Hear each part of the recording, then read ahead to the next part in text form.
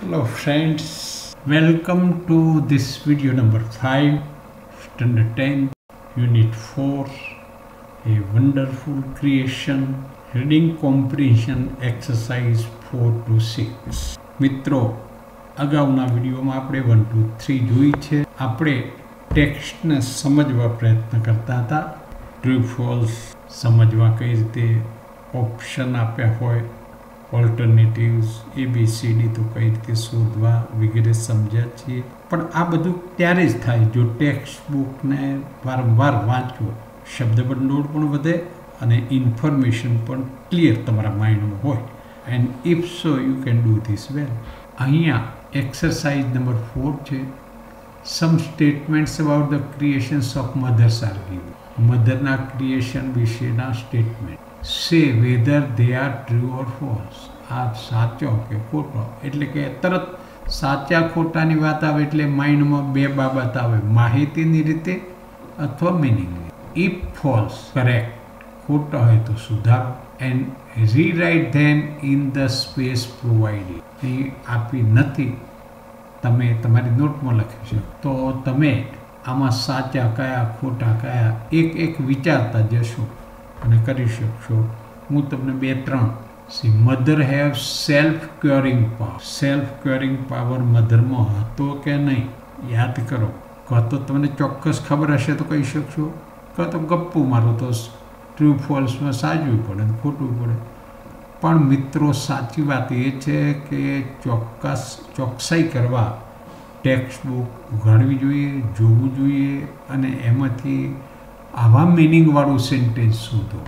Exact આ sentence અંદરના કોઈક શબ્દમાં ફેરફાર કરી નાખો. તો તમે જોઈ અને કહેશો, કહી શકશો, આ સાચી વાત છે કે mother have self curing power mother પોતે જ પોતાનું સેલ્ફ ક્યોરિંગ પાવર ધરાવે good lord easily decided on how and where to put the three pairs of eyes લોર્ડે easily બહુ સરળતાથી આઈઝ મૂકવાનું નક્કી કરતું. હવે વિચારો.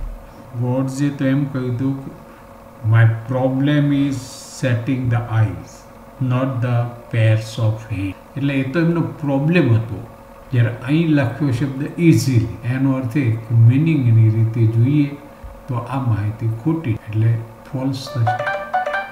ત્રીજું Mother's eyes quickly understand the feelings and emotions of her children.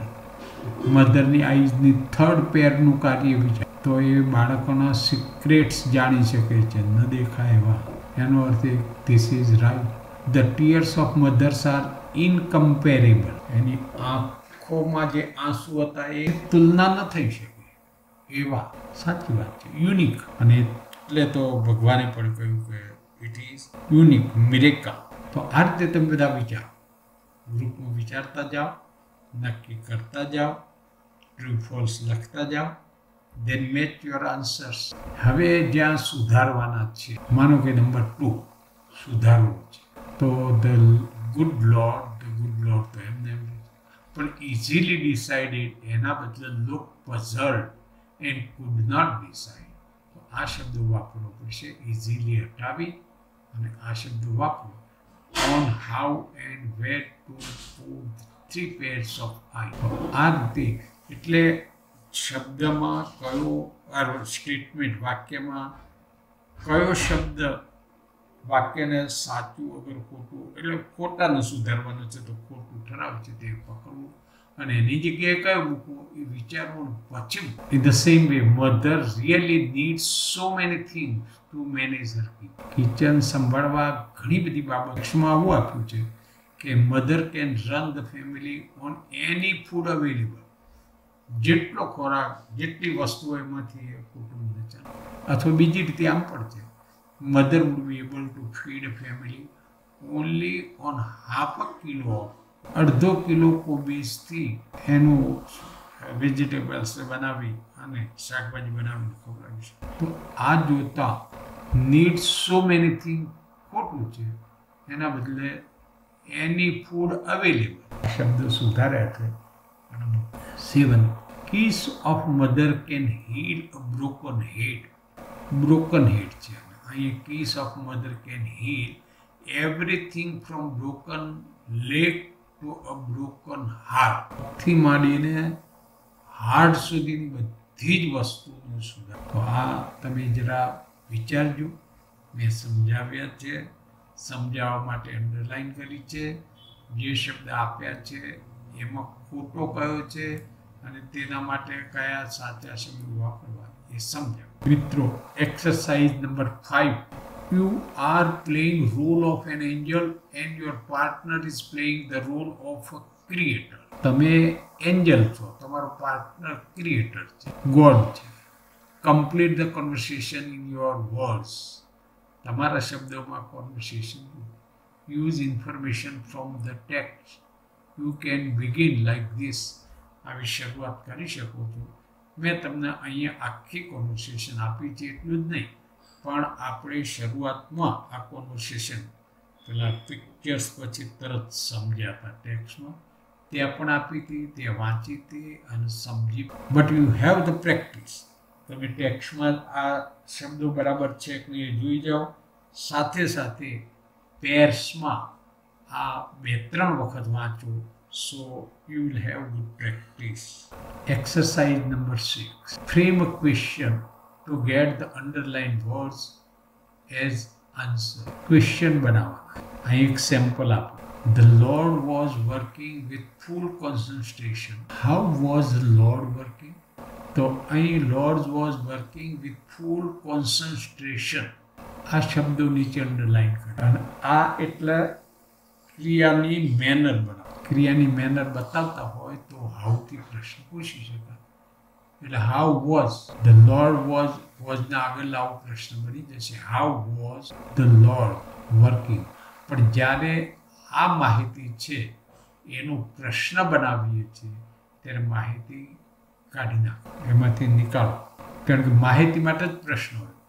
પ્રશ્ન હોય, ત્યાં માહિતી ના આપેલી હોય, માહિતી હોય, ત્યાં પ્રશ્ન મિત્રો, આ બધી બાબતો તમે જોઈ છે. આનો ફંક્શન્સ પણ ભણે. અંડરલાઇન વર્ડ્સનું ફંક્શન શું છે એ ખાસ જાણો. દાખલા તરીકે અહીં છે મૂવેબલ અને રિપેરેબલ પાર્ટ્સ એટલે એનું ક્વોલિટી આપી અને ક્વોલિટી જાણવી હોય તો પછી વોટથી પ્રશ્ન. એ જ રીતે from broken leg to broken heart એ એક એરિયા આખો આખો ભાગ બતાવ્યો કે આટલાથી આટલા સુધી. તો પછી એનો પ્રશ્ન એ રીતે બનાવાય જો અહીંયા બધા બનાવે છે. What can mother mother's kiss cure everything એ જ રીતે થ્રી પેર્સ ઓફ આઈઝ એ એક આઈડિયા છે. તો આઈડિયા જાણવો હોય તો વોટથી પ્રશ્ન પૂછે. એટલે અંડરલાઈન શું છે? માહિતી કેવી છે અને એના માટે કયો પ્રશ્ન પૂછાય એ જાણવું ઇન્ફોર્મેશન માહિતી હોય તો વોટ તો ફોરમાં વોટથી પ્રશ્ન પૂછ્યો છે. તો યુ હેવ ધીસ પ્રેક્ટિસ આ અંડરલાઈન વર્ડ્સનું ફંક્શન સમજો અને તે જાણવા માટે તે માહિતી શું આપી છે તે જાણવા માટે કયો પ્રશ્ન પૂછાય એનો વિચારવો ત્યારબાદ પ્રશ્નની રચના મુજબ એ પ્રશ્નો બનાવો.